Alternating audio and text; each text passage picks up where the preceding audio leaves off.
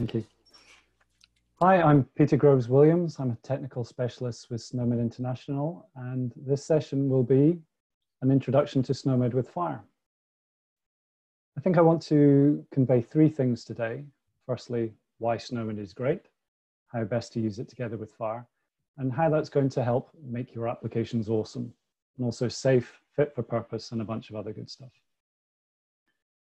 So here's what we're going to look at today. It's pretty much a game of two halves, and I, I said to Marco, who's moderating, that we could maybe take questions about SNOMED after the first half, and then uh, at the end we'll take any mop-up questions about FHIR. So firstly, we'll look at SNOMED, what it is and how it works, and then we'll move over to look at FHIR. Now, Jim Steelgrave gave, gave great coverage of terminology resources on Monday, so I'm really just going to focus on some aspects of FHIR that are specific to features of SNOMED CT. I'll also mention our Snowstorm terminology server, which is free to use. That's available on GitHub.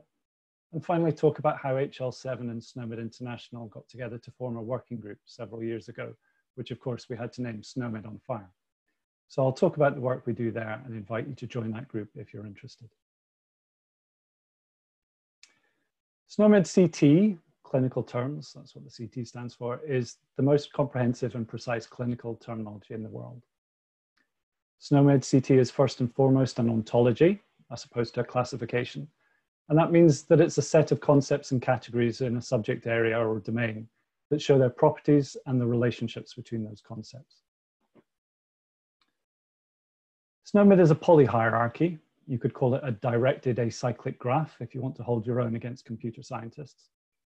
Each concept can have many parents. Each concept can be many types of things at the same time. So it's not a classification system like ICD where a code can only belong in one particular bucket. Classifications like that are really good for statistical reporting. If you can only put a code in a single bucket, then your numbers will always add up to 100%. But it doesn't represent real world complexity like concept like acute renal failure due to procedure. Now, is that a disorder of the kidneys or is it potentially an indication of medical malpractice? Well, it's both at the same time. And something I love as a developer is that SNOMED is self-describing. Most things in SNOMED, the different types of descriptions, the attribute types, the structure of the reference sets themselves are all described using SNOMED codes. Why is SNOMED great?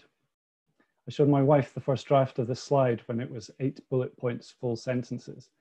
Death by PowerPoint, she exclaimed, and told me to concentrate on what makes SNOMED stand out from other products and cut it down to three bullet points.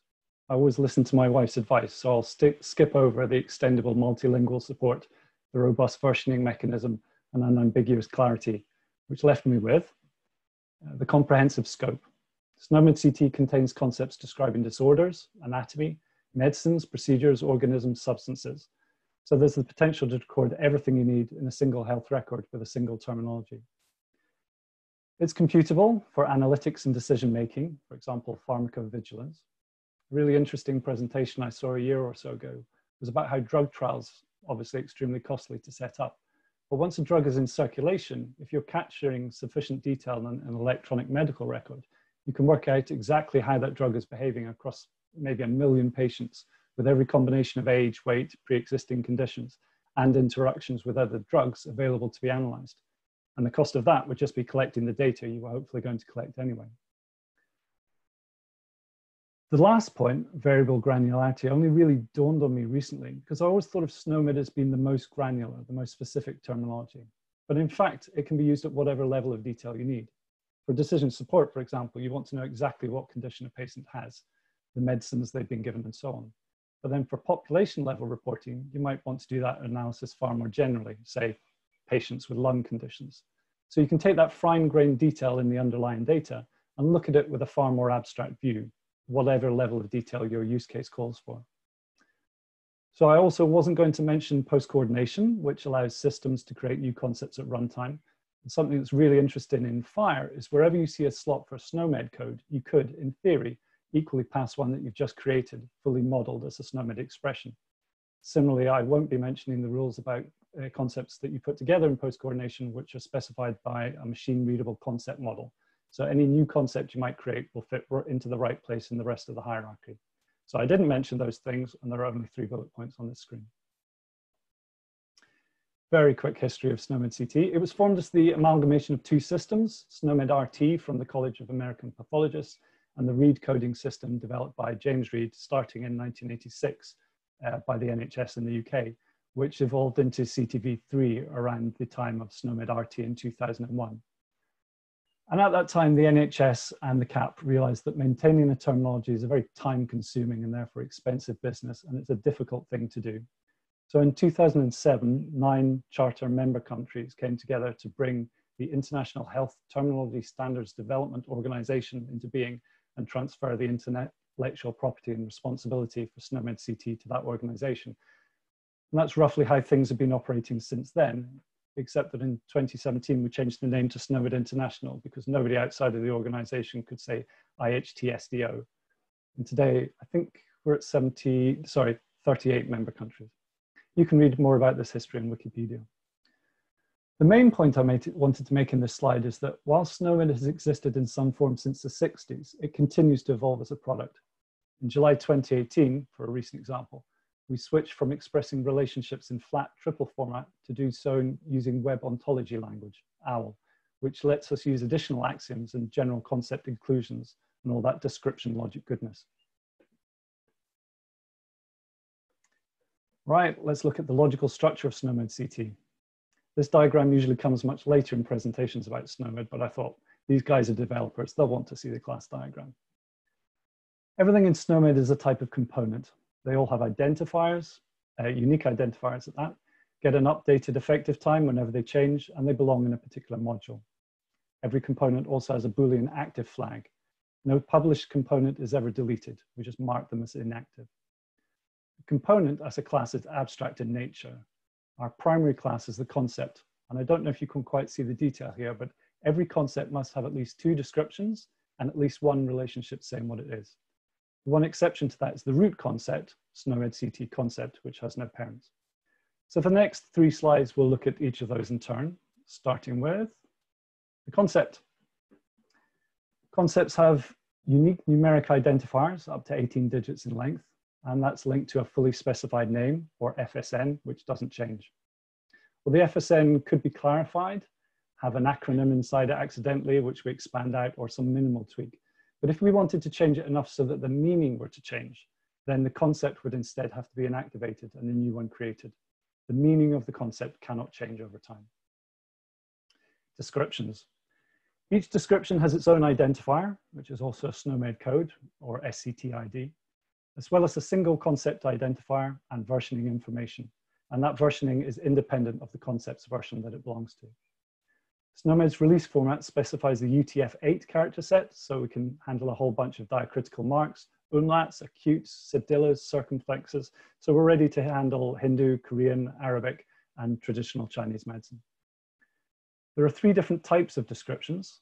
A description could be an FSN, fully specified name, a synonym, uh, which has a limit of 255 characters, or a text definition, which has a limit of 4K. But a concept must have at least an FSN and a preferred term. The preferred term in any given dialect is expressed via a language reference set, and we'll come to those later. FSNs must be unique in a given language across all active SNOMED concepts. The FSN includes a semantic tag, which you can see the thing in brackets at the top there, which is used to disambiguate it tells you what major hierarchy a concept is in. The one exception to this is drug-eluting stents, which I think are unique in that they belong in two different major hierarchies at the same time. They're both medicinal products and physical objects. So when you add up the number of concepts in each major hierarchy and you come up with six more concepts than exist in all of SNOMED CT, that is why. And that situation has tripped me up more times than I'd care to admit to anyone. I should say that synonyms, by contrast, do not need to be unique. For example, fundus, which is the part of an anatomical structure opposite an opening, exists in the stomach, the eye, uterus, gallbladder, and physicians in each of those spe specialities all call uh, that part of that structure fundus. So the FSN will be unique, but the synonym may exist elsewhere in SNOMED. Relationships. Each concept is associated with other concepts by a set of relationships. The relationships express defining characteristics of a concept, and again, they're components, so they have unique identifiers and versioning information. Relationships have two main flavors. Although they look identical, There's no distinction made between them in the release format. So they can be either an ISA, which means they're set in the hierarchy, or they're about some property of the concept, in which case we'd call that an attribute. There's no limit on the number of attributes a concept can have. If you say concept B is a child of concept A, then concept B will inherit all the attributes of A. I also need to mention relationship grouping. So we might have a condition which features boils appearing on your face and inflammation of the foot. To make it clear, we'd group the relationship about the boils with the relationship that says the finding site is face. Otherwise, it's not clear if you've got boils on your face or your foot and your doctor have had no idea what your condition you've got. I think probably what you should take from that is that I have no medical training beyond for basic first aid. So let's look at what that does to the hierarchy. And uh, an example here is appendectomy. Hopefully you can read this. There's a lot to fit into one slide. And if you can't, I'm just hoping to convey a sense of, a general sense of the le levels of abstraction in SNOMED, from the most specific to the most general, and you can choose what level uh, of granularity work at depending on your use case. So starting with those two relationships at the bottom of the screen, appendectomy is a operation on appendix, and it also is a partial excision of large intestine. We can then move on to look further up the hierarchy, and we see that operation on appendix is a type of procedure on appendix, and similarly that partial excision of large intestine is a subtype of large intestine excision. And so on, we're building further up the hierarchy, bringing in more general concepts. And we get to the concept procedure, which is the very general concept under which appendectomy and all other procedures sit in SNOMED CT. And then finally to the concept SNOMED CT concept itself, which is the most general concept in SNOMED, also known as the root concept. So this is what appendectomy looks like in a model diagram. And there's all sorts of detail in here you'll learn about if you take one of our foundation courses. But just to pick out a couple of things. Although appendectomy is the preferred synonym for this concept, it doesn't appear in the diagram. To be completely unambiguous, the fully specified name is excision of appendix. And you see the semantic tag there clarifying that this is a procedure. Secondly, those three bars, uh, parallel bars in the top circle indicate that this concept has been marked as sufficiently defined. The effect of that is that any procedure that has these same two attributes grouped together in this way will be inferred to be a type of appendectomy. These inferences are made by a computer program called a classifier, of which there are many on the market. And in SNOMED International, we use ELK and SNORocket. Expression constraint language. I think this is the most powerful thing in SNOMED when I go to trade shows, I like to annoy salespeople in booths by asking them what they like best about their product. They, they never know. And it, but if they were to ever ask me back in return, I'd say it's ECL. It allows us to specify a subset of SNOMED concepts based on their position in the hierarchy and the presence or absence of a set of attributes, again, potentially grouped and optionally with some specified cardinality.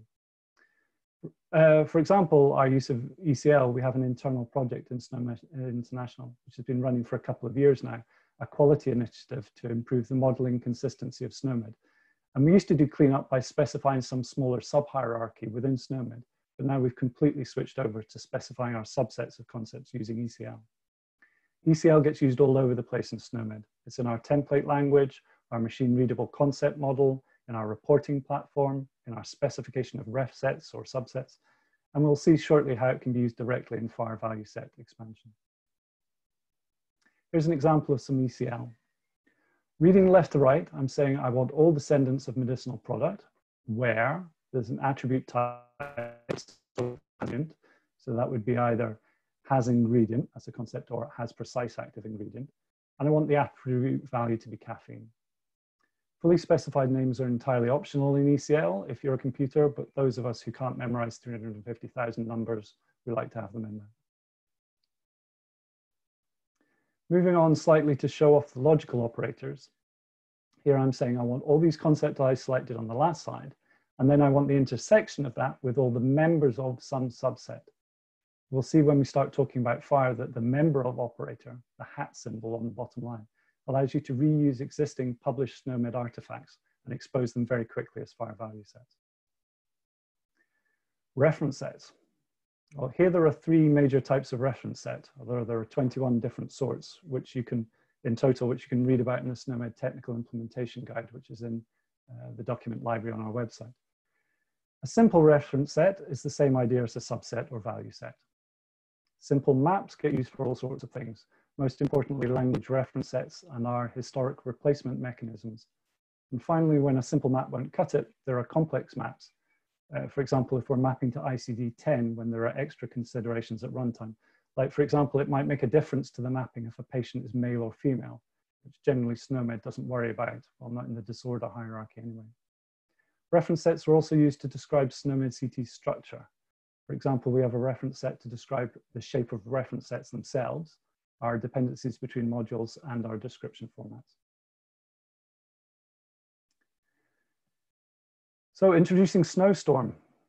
SNOMED International used a commercial terminology server internally for many years before a colleague of mine, Kai Kewley, developed a replacement based on Java Spring and Elasticsearch. And as with all our software, we've made that open source and it's available for you to use on GitHub. It's not a commercial product, although we do try to react quickly to issues raised on GitHub, and it only support, supports SNOMED CT as a terminology. So Snowstorm was written primarily to serve the internal needs of SNOMED International, although obviously we've opened it up to the rest of the world. It provides the backend data store and business rules engine for a lot of our applications. Here you can see our authoring platform that the clinical terminologists use to maintain the ontology. And here's a shot of our public browser, which lets you dive into the international edition, as well as a number of country editions. We get a lot of people trying to obtain all of SNOMED by hitting this API with some sort of automated method. So the API is rate limited. And we specifically state that the instance that we're hosting should not be used as part of anyone else's production system although they'd be welcome to run up their own instance on their own hardware, do whatever they like with it. It's worth noting there, um, at the middle top right of the screen, the addition last year of an expression constraint tab that lets you try a TCL. We're hoping to enhance that with some sort of auto-completion syntax checking in the near future. Right, that concludes what I wanted to say about an introduction to SNOMED CT. Um, Marco, are there any questions come up in that, in that half of the presentation to answer? Yes, we have um, we have two questions uh, uh, asked. Uh, the first one: um, Is it possible to define a FHIR value set with required pre-coordinated codes? Question by Reese Adamson. Yes, we are completely going to use pre-coordinated uh, codes in the examples I've given today, so you'll see that. Post-coordination, right. post-coordination by contrast is sorry, that's my front door. Is uh, it's really cool. It's the most powerful thing you know, that's going. And when you see it, you'll you'll be blown away by it. It's so powerful, but it is difficult to use. There are a limited number of people who could handle it, and we've not, for example, got support for ourselves internally. If you were to try and define a value set on the fly using post coordination, and that is something that SNOMED International is moving into this year. Thank you for that. What was the next question? And the other question is by Korsol. How straightforward or responsive is the, is the process to request code or relationship and aliases in SNOMED? That is a great question. Generally, the way to do that is to go through your country, your member country. So anyone in, say, England would apply to the NHS, to the, um, the digital, digital support lab they've got there. And if that concept was applicable internationally, if two or more countries wanted to use it, then it might exist in uh, the UK edition first and then be promoted up.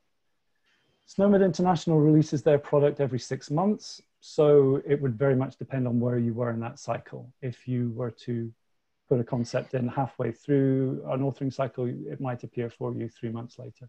There is an intention to release SNOMED um, International more frequently in the future. Thank you for those. Okay. Are there any further questions in that time? Last question, is Snowstorm supporting the FHIR terminology services? Yes, and that is exactly what we're going to talk, at, talk about next. I thought. okay, you have the floor again. Okay, thank you. So I'll press on and uh, I'm going to look at FHIR and specifically in relation to using SNOMED. So here are the main FHIR terminology resources we're going to look at today, and each one has a number of operations that can be performed. So we'll work through each of these in turn. And as I say, I'll try to avoid repeating too much material from other terminology sessions and just focus on the particulars of using them with SNOMED CT. Code system instances. This is a, so to answer the question, yes, we have a FHIR API. Uh, we took the Snowstorm terminology server and we added uh, a HAPI layer to it. And really that's just doing a, a mapping between our internal structures and uh, the FHIR uh, 4.0 structures uh, when they come out. So this is a recent addition to Snowstorm, and as with other resources, you just have a URL ending with the name of the resource, and you get back a list of the ones available, and you can filter on any of the fields that come back. In the examples here, a particular uh, release date or publisher has been filtered for. The system identifiers that come back are implementation dependent, so they vary from terminology server to uh, one to another. So what we decided to do with Snowstorm was just pick out the meaningful identifiers from the URI. So we state the module identifier and the effective date together with uh, just the letters SCT to give it some context, so it's not just random numbers. So these objects don't exist as FHIR code system objects in the Elasticsearch data store that Snowstorm sits on top of. What happens is that we query the additions of SNOMED internally in Snowstorm and then map them to HAPI data structures. Code system lookup operation. Here we're saying, I've got this SNOMED code, tell me more about it. An example, the first example, specifying the URI for SNOMED CT, and we'll get back a default set of properties. So let's click on that.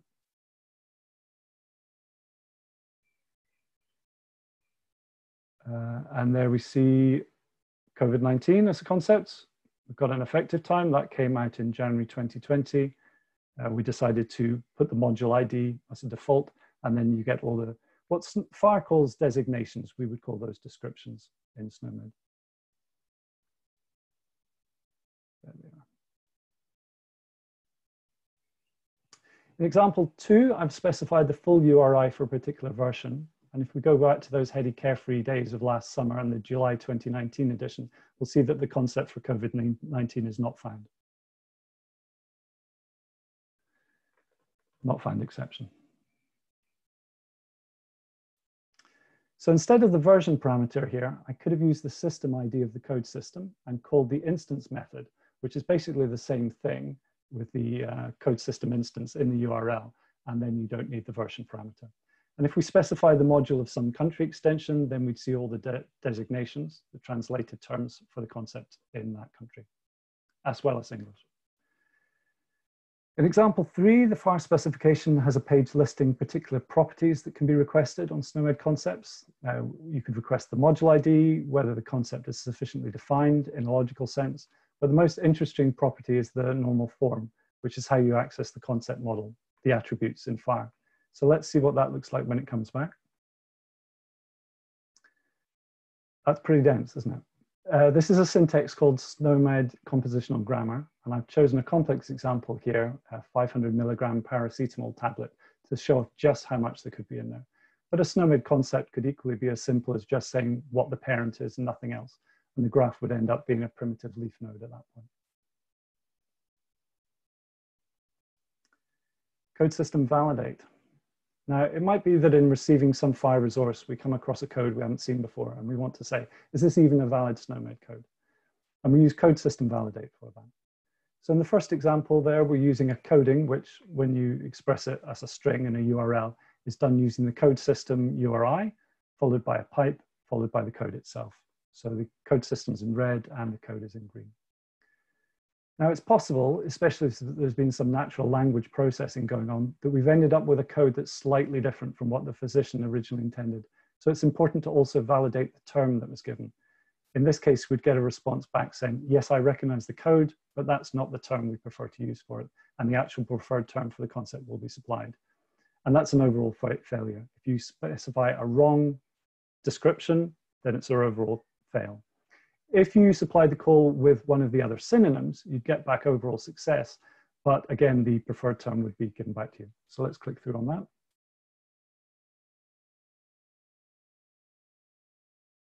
I said nausea, but that display term is not recognized. You should have said hangover. So you've got a false there.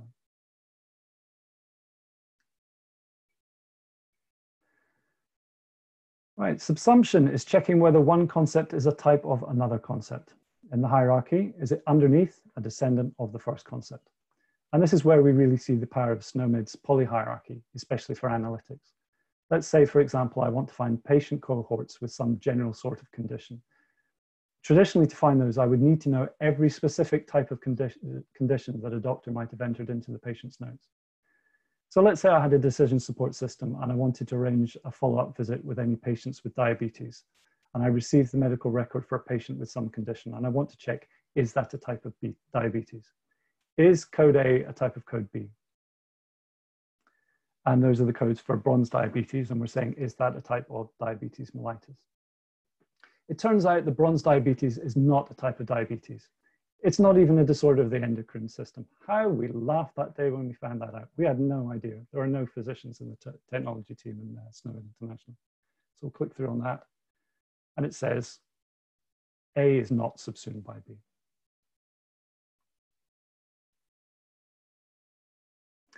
Value set instances, that's very straightforward. As with all resources, we give the name of the resource and we get a list of the available ones back. Um, a feature we've implemented in Snowstorm since the last time I gave this talk at Dev Days is the search text modifier, um, which is in purple there, saying that I want any value set where the title contains the word condition. By default, if you didn't specify a mo modifier, you would get a starts with match. Something I've personally struggled with in the FHIR specification is that there's so much of it that a developer could potentially implement, but there's no obvious roadmap through it of what you'd want to develop first. What's most important thing? And that, of course, completely depends on your use case. There's no one answer to it. So that's why I find things like FHIR Connectathon so valuable because I offer up a URL of Snowstorm for people to try it and they say, oh, this thing is missing, or I was expecting that to come back a bit different. And that's where I get my prioritized to-do list from and I map out sprints and releases uh, from them.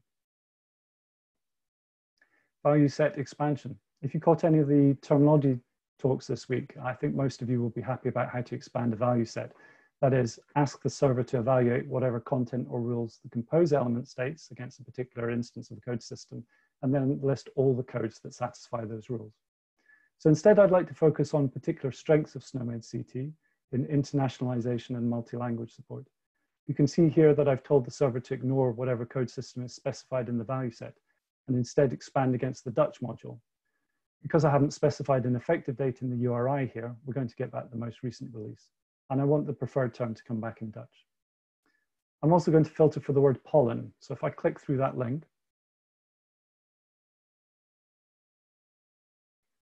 and then scroll down through the compose element so we get to expansion,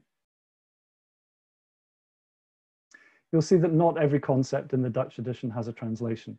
So we might choose to specify the parameter, include designations here, and fall back to English where Dutch is not available.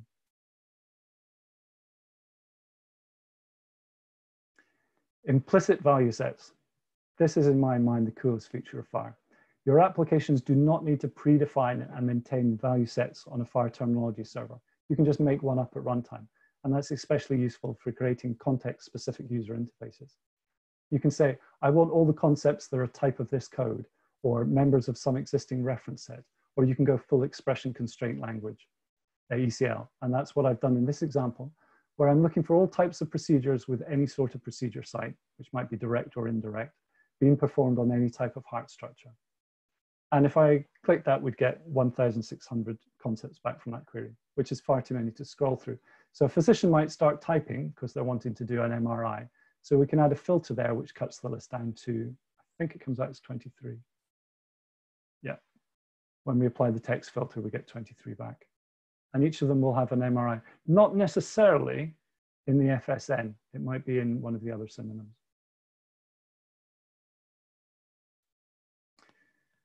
Value sets validate code. Now we covered validate code as part of the code system resource and it behaves exactly the same here, except we're asking, does this code appear in my value set? And optionally, have I got the correct display term associated with, with it? Where it's more interesting is uh, in these dynamically defined or implicit value sets, the set of concepts, the expansion, could change with each new release of SNOMED and between countries. So we could get a different answer from one day to the next. So if it's important that the contents of a value set should never change, then you will want to upload and store a value set object where the exact addition and effective time of a particular SNOMED release is set in the URI, and then it won't change over time, unless you use that force system version parameter during the expansion. Concept map um, was really intended to let you map from one code system to another. So we'll see here an example of getting the ICD-10 code for a given SNOMED concept. So the source code here is in red. I've got the URI for the value set that contains every SNOMED concept, and I'm mapping that to a target, which is the URI for ICD-10. And then in the URL, I've specified the reference set, which contains the to ICD-10 map. And there's our ICD-10 code, Q79.8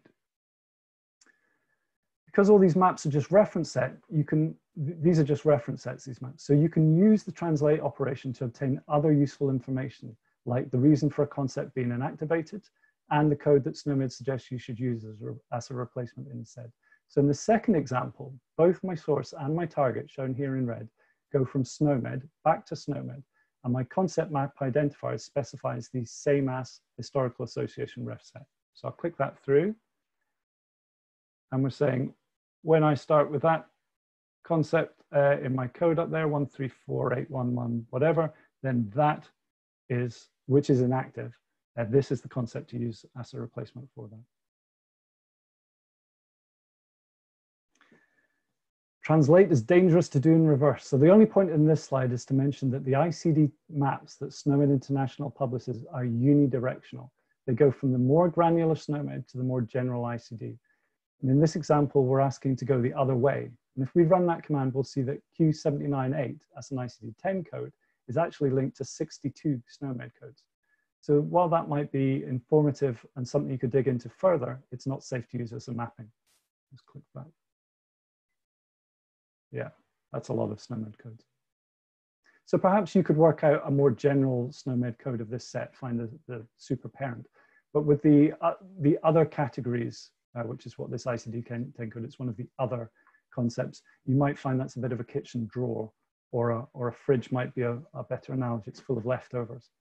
It's a bit like taking a, photo, making it a thumbnail, and then trying to blow it back up to A4 size. Once you've lost that fine grained detail, there's no going back to it. So that's why storing and retaining the original SNOMED code is so important. ICD-10 can then be mapped to, which you can do on demand for reporting or billing or whatever use cases. Now, Jim Steel did a dive into this demo web application on Monday, so I won't spend too much time here, but I'll open it up. And what I would like to do is bring up developers tools. And really what I want to highlight is that a favorite feature of mine uh, of FHIR, implicit value set expansion with a text filter applied to it. It keeps the choices offered to the user constrained to the specific domain they're working in. And in this case, we're only interested in, I'll use procedures, not the whole of SNOMED. So let's stick with appendectomy. Append, boom, there you go. You probably can't read that. I'm not sure how big your screens are. You're very welcome to try that for yourself later. But you see there a call to expand. There's ECL uh, defining the, uh, the value set expansion in the URL, and there's a term filter. And also in the drop down top right, shows the industry standard nature of the FHIR terminology API. We can just drop in a different terminology server at runtime and we'll get similar results back, not identical because um, Ontoserver uses the Australian edition by default and we will be using the uh, international one at SNOMED International.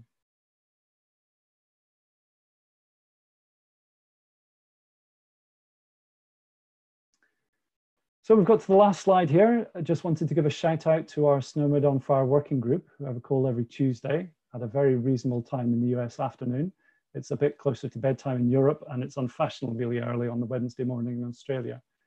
Um, that group is there for the benefit of SNOMED international member countries and just about anyone interested specifically in using SNOMED and FHIR together. We split the discussion into two streams, which meet uh, week about. One stream will focus on server API development, and the other one will look at binding the terminology to the information model. So that's profiles and value sets. And we have some great experts there who lead the discussion. So you can find out more about that on our Confluence site. Uh, the URL for that's given there, and you're welcome to join those calls anytime. Okay, Marco, did we pick up any more questions in that second half? Yes, we did. Um, first of all, um, a question by Tim Benson. How does it relate to LOINC, the SNOMED? That was one first. That is a, a long history and a political uh, discussion. LOINC is uh, an alternative terminology which has a very specific use case and lab results. The political side of that is that SNOMED and LOINC have stayed somewhat separate over the years. We are now working uh, much closer together. Regenstrief is the uh, organization that produces LOINC, of course, and we are working more closely together. I hope that some useful work um, will come out of that process. As I said, Snowstorm does not work with other terminologies. Uh, there are terminology servers that will work with far more terminologies at the same time. Thank you. Okay. We have some, uh, some questions about Snowstorm. Um, does Snowstorm have a permanent public endpoint for testing?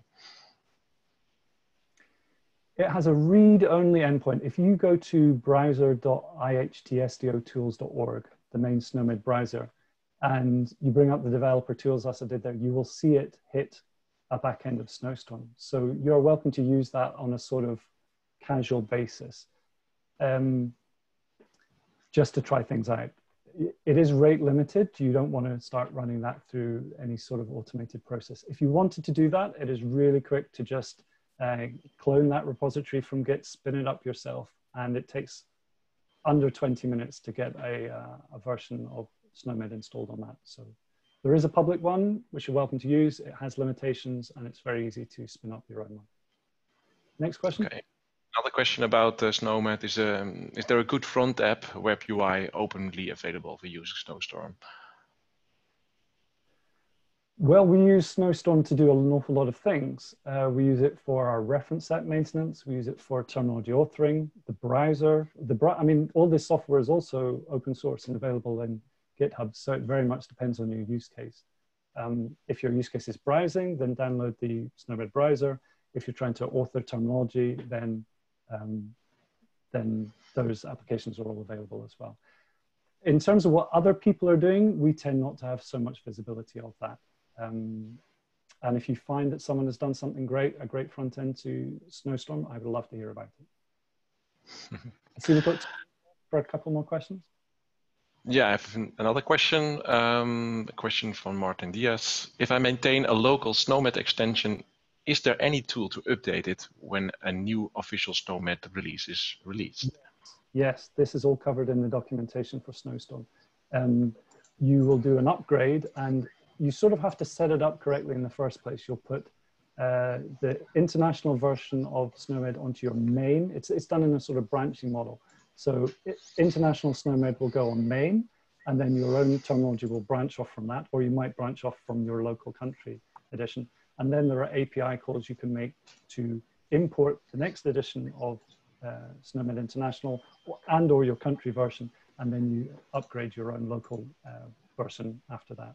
So there is documentation and instructions for doing that. One minute left. Last one very quickly. Um, I'm just refreshing my screen, but I have no other questions uh, anymore. Um, nope. Super. Try to refresh it. No, I think we all handled all the questions that's in the Q&A tab. Thank you for that, by the way. Okay, thank you so, for being host today, Mark. I appreciated that. Okay. Thank you very much, everybody, for listening. Thank you very much, Peter.